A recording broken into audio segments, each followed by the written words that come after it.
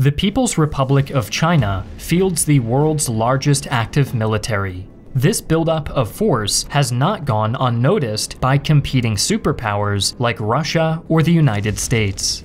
For China's smaller neighbors like Taiwan and the Philippines, this threatens to destabilize the Indo Pacific region as a whole.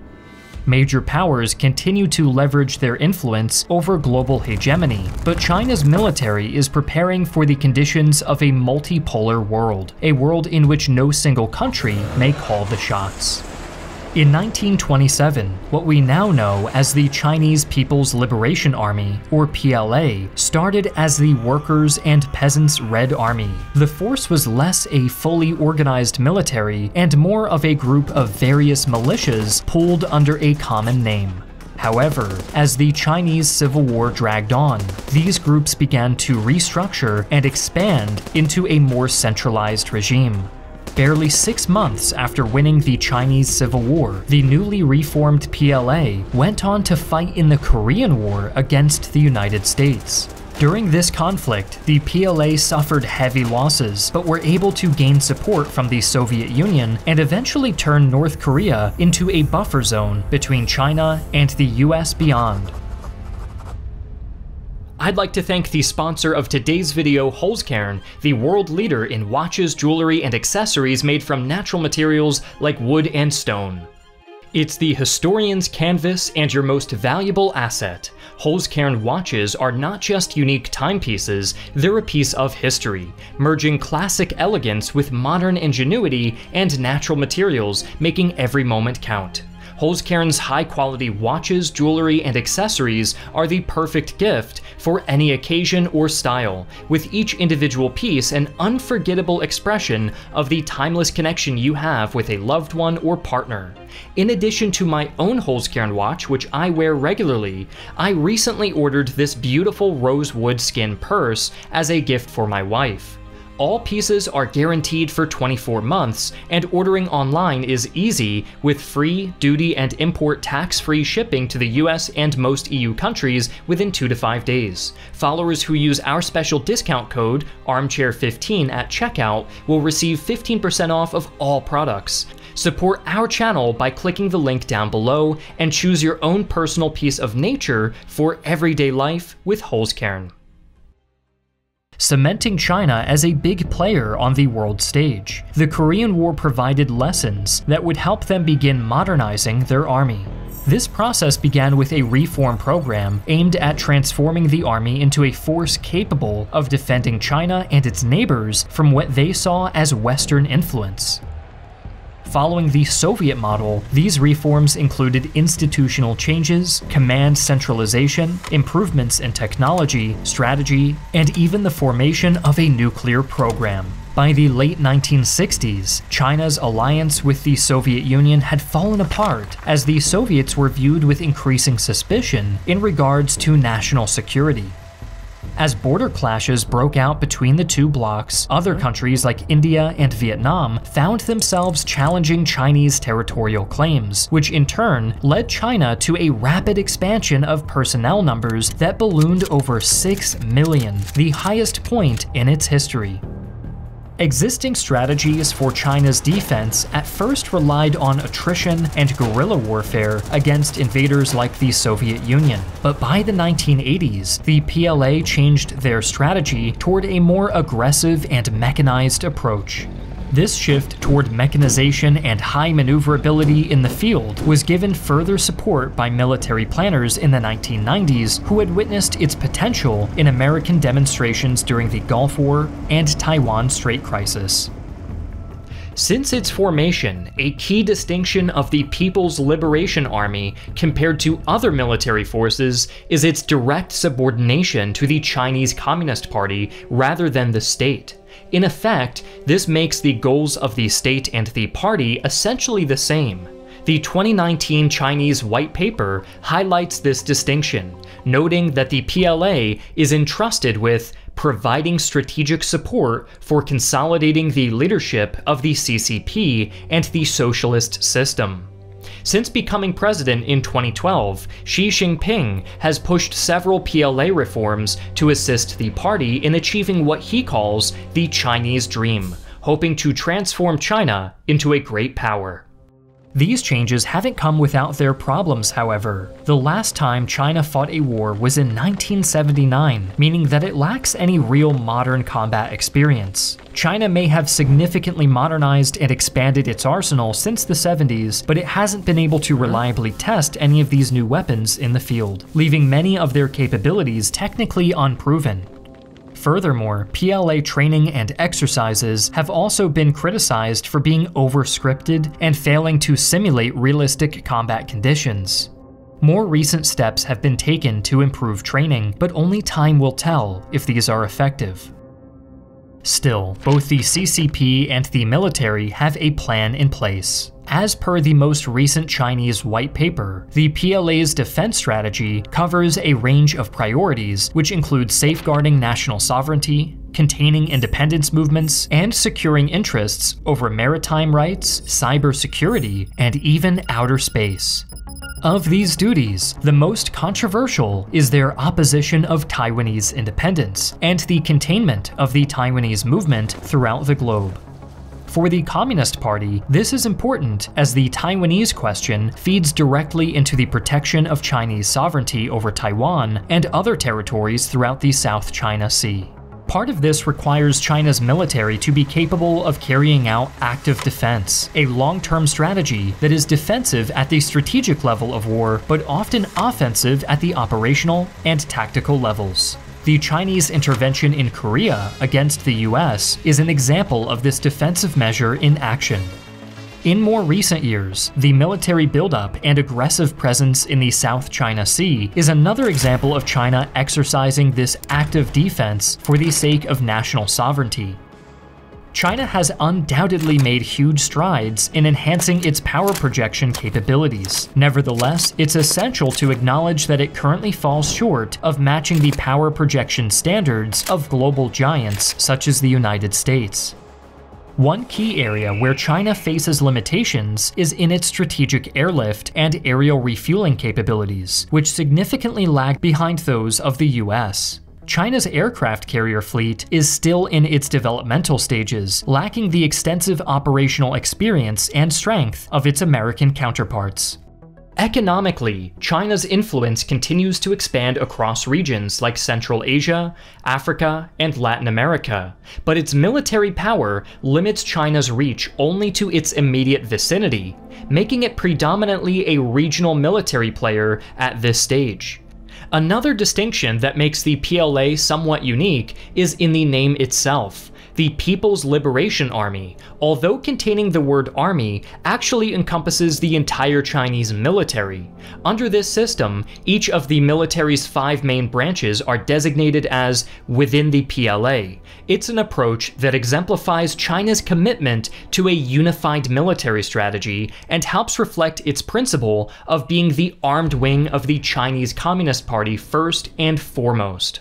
The oldest of these branches is the ground force, equivalent to a traditional army. Also known as the PLAGF, its basic operational structure starts with the group army, operating much like a corps in other armies, but with more flexibility and responsiveness in mind. Group armies are assigned to one of China's theater commands, each controlling 12 brigade sized organizations, 6 being combined arms brigades, and the other 6 being support brigades.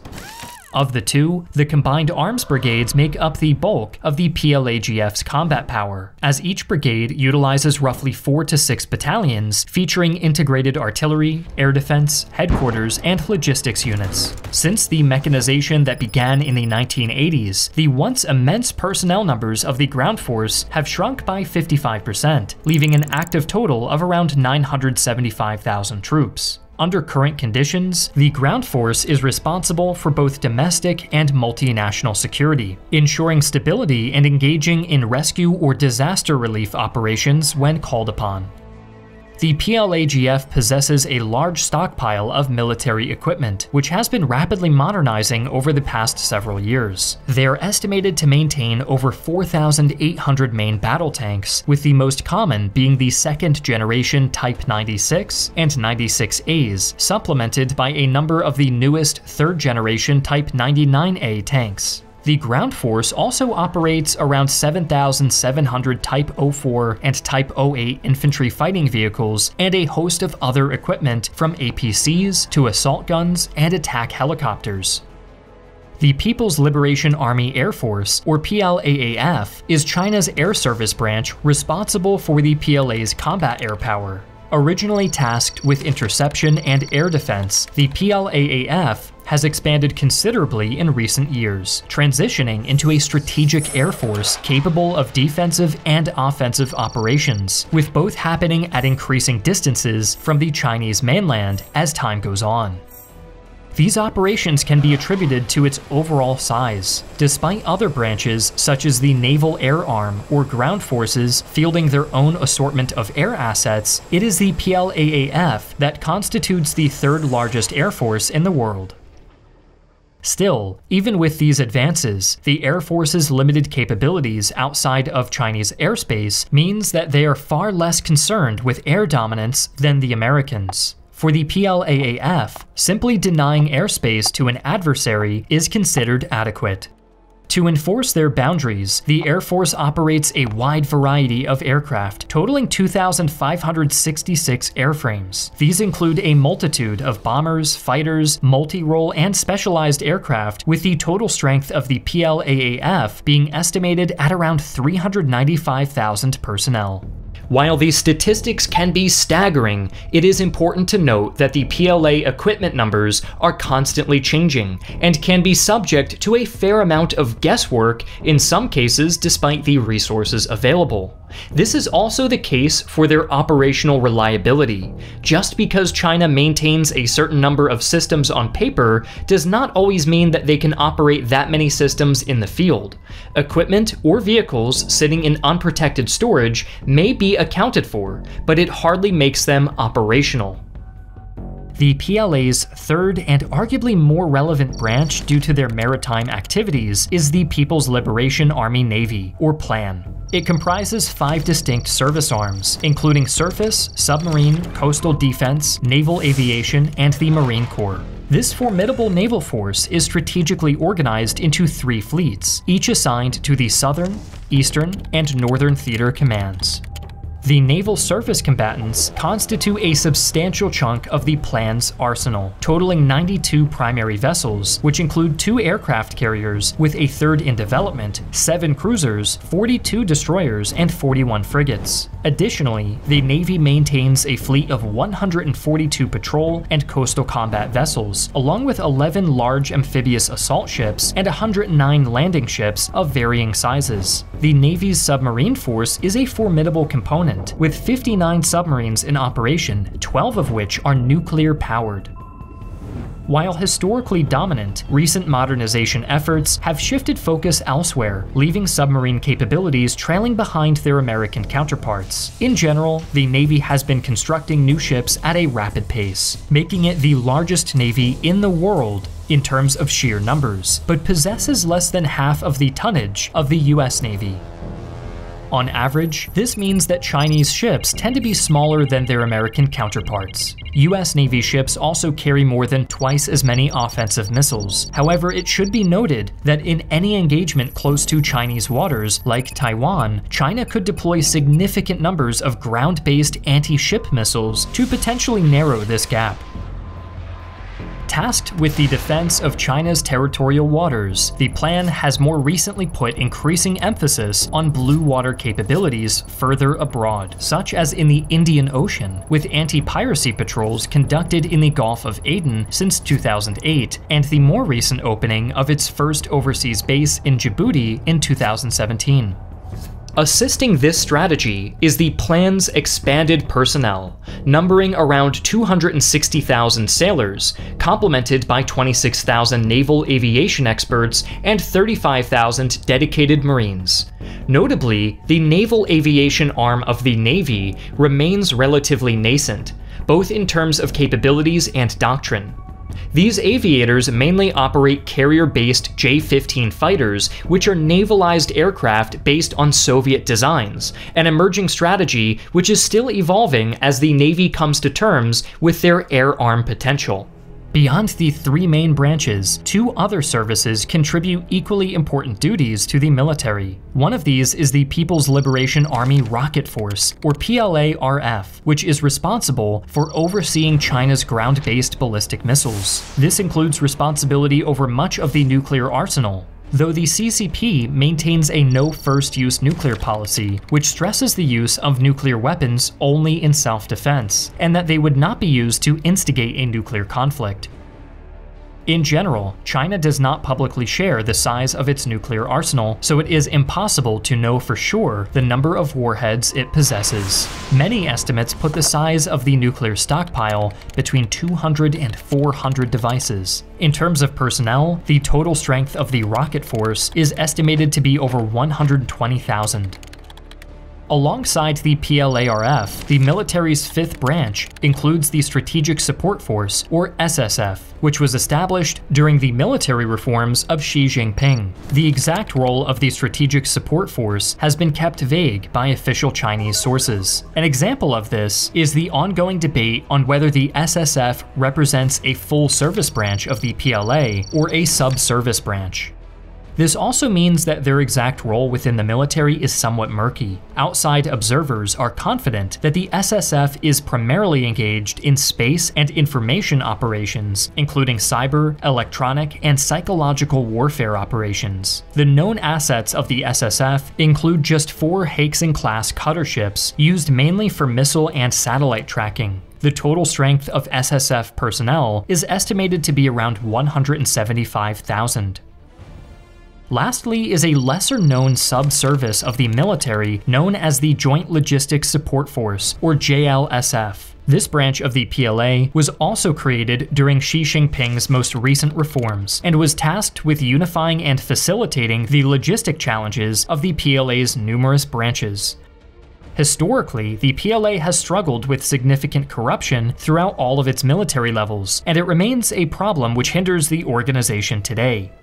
While Xi Jinping's reforms attempt to address these issues through branches like the JLSF, the process of reorganization itself has led to its own problems. The expediency and pressure of these reforms have led to significant disruption across all of the PLA, and some experts fear that growing pains associated with reorganization will impact China's combat readiness for some time. Nevertheless, the JLSF's main duties include reducing redundancies and generally increasing efficiency within the PLA's immense bureaucracy. While the JLSF does handle some logistics for all of the PLA's branches, this is mostly just at the theater level, and individual services still remain in charge of their more localized logistics. Given the size of the PLA, it's natural for many flaws and issues to surface in full view of China's opposition. But as a military force, the PLA also boasts numerous strengths. As of 2022, the PLA's official budget was around $242 billion, making it the second best funded military in the world. However, the official budget does not fully highlight the money being spent on defense. Their biggest advantage comes in the level of purchasing power over nations such as the US or Russia, giving them more bang for their buck on military spending. The past several years have seen the PLA carry out increasingly aggressive exercises and maneuvers near Taiwan. PLA forces have also acted increasingly boldly around the entire Indo-Pacific region. As China gains increasing confidence in their military forces, these displays of power are likely to increase. Perhaps more concerningly for the West, China has also rapidly modernized and expanded its nuclear arsenal. If the PLA continues at its current pace, China could soon possess as many as 1,500 warheads. The year 2027 marks a significant milestone for the PLA, as China aims to complete a pivotal phase in its modernization efforts. This phase encompasses the crucial objectives of mechanization, informationization, and intelligentization within the PLA's ranks. As the ground force looks to complete its mechanization, it will likely continue to get smaller, but will grow increasingly flexible and mobile as motorized infantry and towed artillery become fully mechanized. Also likely is that individual unit sizes will shrink. The Navy will likely continue to grow, despite concerns of ships aging and requiring more maintenance, becoming increasingly capable of acting outside of China's territorial waters.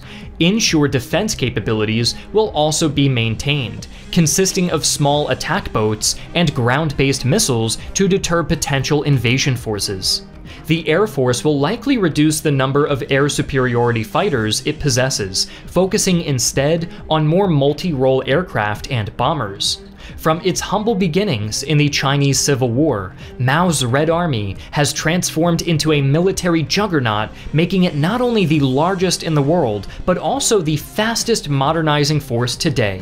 It's widely speculated that the PLA considers this phase of modernization as vital, potentially influencing any future actions related to Taiwan and the Pacific.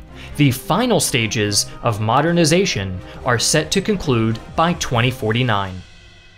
Thanks again to Holzkern for sponsoring this video. Support our channel by visiting the link in the description and use our special discount code ARMCHAIR15 at checkout to receive 15% off of all products.